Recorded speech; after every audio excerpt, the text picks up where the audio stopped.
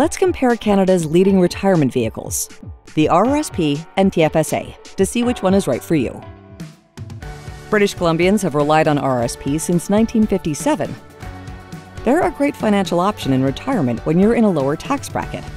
A TFSA is an investment holding account that you can use for short term savings or a long term retirement plan that you're able to pull earnings from completely tax free.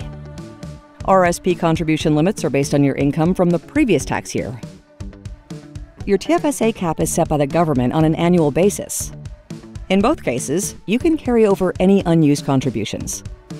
The money you take out of an RRSP is taxed as income and removed from your contribution limit. Withdrawals from your TFSA are tax free, and funds can be added again whenever you want. RSP contributions are tax deductible, meaning you can use them to reduce the amount of income tax you pay each year.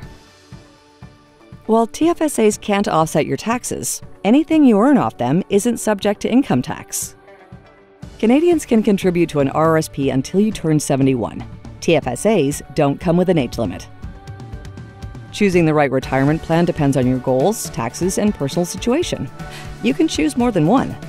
If you're unsure, chat with a financial advisor to create a custom strategy.